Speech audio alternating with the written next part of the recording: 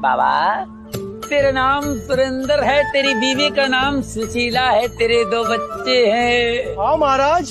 एक बच्चे का नाम आर्यन है बिटिया का नाम कनक है। हाँ महाराज। तूने कल पंद्रह किलो चावल बीस किलो गेहूँ पाँच किलो दाल पाँच किलो शक्कर खरीदा था बेटा। हाँ महाराज आप तो अंतर्यामी है। अबे हट रहे तुझे बोला था कुंडली लेके राशन कार्ड लाए तू।